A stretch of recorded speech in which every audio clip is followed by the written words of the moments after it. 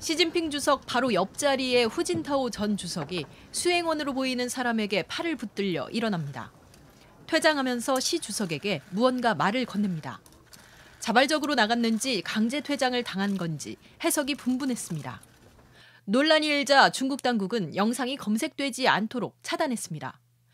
그런데 바로 직전 상황을 보여주는 영상이 추가로 공개됐습니다. 후진타오 전 주석이 앞에 놓인 빨간색 서류를 열어보려 하자 팔목을 잡으며 제지하는 사람. 시진핑 주석의 최측근 리잔수 위원장입니다. 후 전 주석이 다시 시도하지만 힘에 붙이는 모습입니다. 이 장면을 빤히 바라보던 시진핑 주석. 누군가를 부릅니다. 곧바로 한 참모가 다가오고 시 주석이 뭔가를 지시합니다. 이후 상황은 앞서 공개된 영상으로 이어집니다. 시간 순으로 볼 때 후 전 주석의 퇴장 이전에 시 주석의 지시가 있던 셈입니다. 후 전 주석이 보려던 빨간 서류를 확대해 보니 이날 발표된 중앙위원회 위원 명단이었습니다. 후진타오 측 인사들 상당수는 이번 당대회에서 이름을 올리지 못했습니다. 결국 후 전 주석이 이에 반발하자 시 주석이 퇴장을 지시했다는 분석이 힘을 얻는 모습입니다. 통제가 일상화된 중국에서 시민들의 얘기를 듣긴 쉽지 않았습니다. 한국 기자라고 하면 뒤도 보지 않고 가버립니다. 얘기를 할 듯하다 시주석 얘기가 나오면 거절하는 경우도 다반사입니다. 어. 어. 어,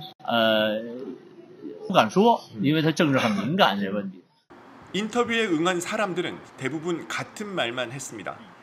현 체제가 안정적이며 중국이 계속 발전하고 있는데 장기 집권이든 아니든 뭐가 중요하냐는 겁니다. 一个领导人不能给予你的社会还有你的这些国民有信心的话，那你以成绩来说话，只要他能够做出对大家好的事情，大家都会拥护他。 언론 통제의 효과는 컸습니다. 세계가 떠들썩한 후진타오 전 주석 일에 대해 아는 사람이 없었습니다. 胡锦涛前毒系这个突然去外边，你看看过这样的视频吗？哎呦，这个细节我没有看到。啊，是吗？嗯我我给你看这个呢。呃，你没这个看是电视上有直播的吗？直播，但是直播这个对，在中国内这个没有直播。 하지만 비판적인 목소리가 없는 건 아닙니다.